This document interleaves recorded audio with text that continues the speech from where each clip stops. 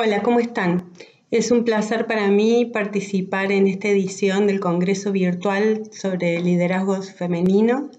Quiero agradecer eh, a la organización y por supuesto a la Fundación Documenta.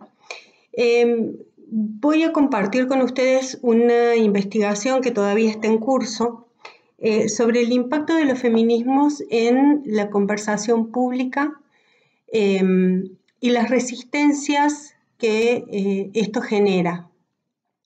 Conversación pública en torno a un concepto que tiene que ver con intercambio de discursos, lo que Marc Angenot llama eh, el, entramado discursivo, que hace impacto directo en la sociedad, en la conversación social, en la conversación pública. Depende del autor con el que eh, deseemos caracterizarlo. Eh, la conversación pública puede ser eh, denominada de esa manera y también puede ser denominada como conversación política, ya sea Habermas, eh, Lujan, eh, Elizabeth Noel Neumann, el mismo Angenot, las caracterizan de, diferentes maneras, pero es Hannah Arendt la que le da un carácter de conversación política, porque afirma que toda conversación pública eh, llevada adelante por los hombres que son eh, políticos por naturaleza, se convierte en una conversación política. Por lo tanto, eh, hay muchos conceptos desde el cual abordar esto, pero me parece que es la comunicación política la que nos da un marco teórico con una fuerte utilidad aplicativa. Y esto es lo interesante de, este enfoque porque desde una perspectiva construccionista nos permite abordar eh, la comunicación, la conversación eh, política, incorporando eh, dos actores aparte de la opinión pública, que son los medios de comunicación y la clase política, que intercambian discursos muchas veces contradictorios y que eh, luchan de manera permanente por eh, imponer eh, los temas que consideran de relevancia en la agenda pública, en esa conversación pública. y mm, es innegable que los feminismos en estos últimos años han logrado eh, penetrar esa conversación pública. Hace cinco o seis años atrás difícilmente estábamos hablando eh, cotidianamente de estos temas o estábamos planteándonos em, leyes eh, y actitudes y avances en torno a los temas de agenda de los feminismos. Em, particularmente en Argentina, lo más habitual es preguntarse por qué ahora, si los movimientos feministas no son eh, movimientos nuevos, claramente, son movimientos que tienen un proceso histórico en el que en algunas etapas, en algunos periodos, han tomado mucha fuerza y mucha relevancia y en otros han pasado a eh, estar tapados por un manto de, olvido. Lo cierto es que eh, en los últimos años, particularmente en Argentina, reitero, desde el año 2015 surge el movimiento Ni Una Menos, un movimiento eh, impulsado inicialmente por em, periodistas, por un grupo de periodistas argentinas, eh, que logró que eh, estas consignas ganaran la calle en torno a la lucha en contra de la violencia de género y que estas manifestaciones callejeras además se viralizaran eh, de manera global prácticamente y, casi eh, de forma instantánea también em, a través de las redes sociales. Eh, y en torno a ese movimiento es que comienzan a impregnarse en la conversación pública los temas de agenda de género. Llegamos al año 2018 en el que eh, se plantearon eh, numerosos eh, hitos dentro de esta agenda feminista. En las manifestaciones muy multitudinarias en las calles y en las redes sociales de Ni Una Menos, ya lo mencionamos, el 8M, el 8 de marzo, el Día Internacional de la Mujer, con el paro internacional de mujeres, los debates en el Congreso de la Nación por la ley de despenalización del aborto, eh, los debates en torno a la efectiva implementación y a la modificación de la ley de educación sexual integral en las escuelas, las denuncias de personalidades conocidas, de mujeres eh, conocidas hacia varones por violación. Eh, y también hubo eh, numerosas leyes que significaron conquistas de, derechos y además los encuentros nacionales de mujeres que en la Argentina han tomado una masividad impresionante en los últimos años el último de ellos en la ciudad de La Plata, en la provincia de Buenos Aires, en el 2019, congregó prácticamente a 200.000 personas. Em, desde la consultoría y desde la investigación de opinión pública, pudimos realizar algunas investigaciones y algunas mediciones y encontramos que por ejemplo, en torno a las manifestaciones eh, Ni Una Menos, el 95% de la población argentina se manifestó estar eh, informado en torno a lo que significaban las consignas, en lo que eh, consistían las manifestaciones, y el 75% de, eso, de ese 95% manifestó haber participado de alguna manera en esa conversación pública en torno a esas consignas, ya sea mm, muy minoritariamente los que participaron en las manifestaciones callejeras y mucho más mayoritariamente aquellos que participaron eh, a través de las redes sociales, ya sea compartiendo em, contenido de terceros o generando contenidos y opiniones eh, propias. Hay que decir que estos movimientos son movimientos ascendentes, es decir, movimientos que se generan eh, y que se militan en las bases de la sociedad, desde las bases hacia arriba, y que tienen características muy eh, significativas y muy particulares. Em, una de ellas es que es una militancia de mujeres, también de varones, que em, eh, inaugura mm, eh, y, utiliza una nueva forma de hacer política, una nueva militancia, una nueva manera de participar en política. Eh, una militancia que es transversal, transversal porque en ella participan mujeres de todas las condiciones sociales, de todas las razas, de todas las edades y de todas las condiciones educativas. Otra de las características es que es un movimiento que se desarrolla, se milita y se activa principalmente en las redes sociales y también de manera transversal. Las redes sociales que son una herramienta que vehiculiza de manera eh, mucho más global y mucho más instantánea todas las consignas de participación y eh, una última característica es que em, se han eh, congregado en torno a nuevas consignas. Eh, y esto hace que los activistas y los teóricos y los académicos a nivel mundial estén debatiendo en torno a si estamos frente a una cuarta ola del feminismo. Em, y es lo que eh, Sánchez Duarte llama la ciudadanía stand-by. Esto ha motivado que eh, muchas mujeres, pero también varones, que no tienen una militancia eh, política, que no tienen una militancia social, pero que tienen un fuerte compromiso social, se sumen a militar y a participar por estas causas y por estas consignas. Esta es una de las particularidades de esta nueva forma de hacer política. La militancia ya no es eh, mayoritariamente en torno a partidos políticos, sino que es en torno a causas. Em, esto no quiere decir que la ciudadanía esté desprovista de ideología, pero sí que esa participación en torno eh, a partidos políticos, que antes era eh, la participación social más mayoritaria, hoy se ha volcado en torno a otras causas y por eso se los llama transversal. Eh, personas que pueden simpatizar con diferentes partidos políticos o incluso con diferentes ideologías,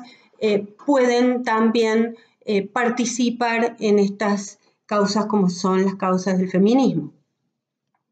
Y esta conversación pública o esta conversación política de la que hablamos tiene dos condicionantes muy fuertes. Uno es el clima de opinión, que es eh, lo que Elizabeth Noel Neumann eh, define como el efecto contagio de la opinión pública, es una opinión, una corriente de opinión predominante ya hemos visto y hemos hablado algunos de los números en torno a los que eh, se concentra la opinión pública, al menos en Argentina, que es el ámbito en el que la hemos investigado. Una opinión pública que eh, es el ideal de todo sistema político exitoso en el que eh, la ciudadanía está informada en el 95% eh, de, su, de, su, población. Ya quisiéramos que en torno a todos los temas públicos y de interés este, de la ciudadanía, eh, tener esos porcentajes tan significativos. Y el otro condicionante eh, que tiene la conversación política es el clima de época. que tiene más que ver con una idea de proceso histórico, de proceso cultural, de proceso de formación de ideas, de creencias, eh, de ideologías e incluso de actitudes. Y ese eh, clima de opinión eh, y ese clima de época se conjugan para formar y para dar lugar y para dar origen a una ciudadanía que internaliza valores, que internaliza discursos, que internaliza temáticas sobre las que debate y sobre las que eh, conversa de manera permanente. Eh, y estos avances de los feminismos han supuesto una eh, clara influencia en la conversación pública, que ha generado muchos debates, que ha generado muchos, muchas adhesiones, que ha generado muchos acuerdos, pero también ha generado muchas resistencias eh, y eh, muchas polémicas. Y eh, este es el escenario en el que se conjugan los feminismos, pero también los haters.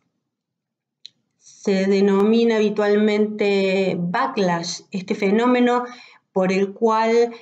se producen muchas resistencias sobre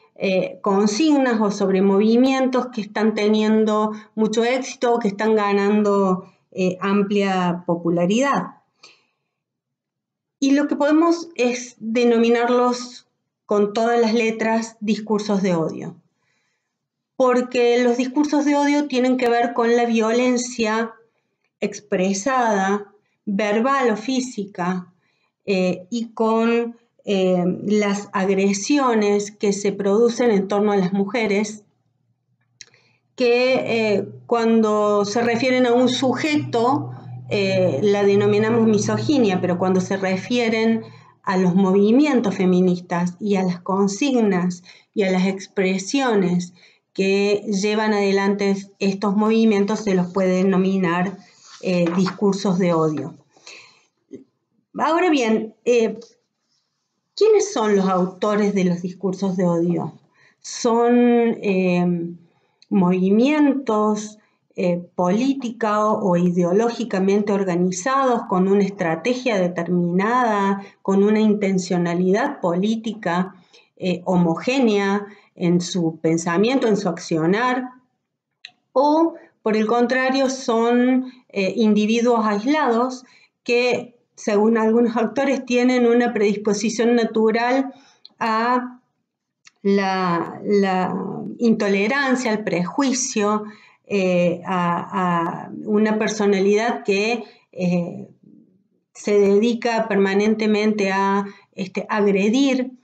Y lo cierto es que los discursos de odio han sido habitualmente relacionados con posturas de origen conservadoras y de derechas. Y lo que tenemos que saber es que em, el, ascenso de numerosos eh, líderes conservadores a nivel mundial, como em, eh, Trump en Estados Unidos, como Erdogan en, Turquía, como Putin, como Marie Le Pen incluso, eh, como Bolsonaro más cercano en Latinoamérica, han sido, la verdad, un pésimo augurio para los feminismos. Estos eh, líderes que abiertamente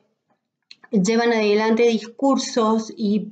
propuestas y políticas incluso eh, neoliberales em, escudados en este, la xenofobia, en la misoginia, en, la discriminación hacia la inmigración, etc.,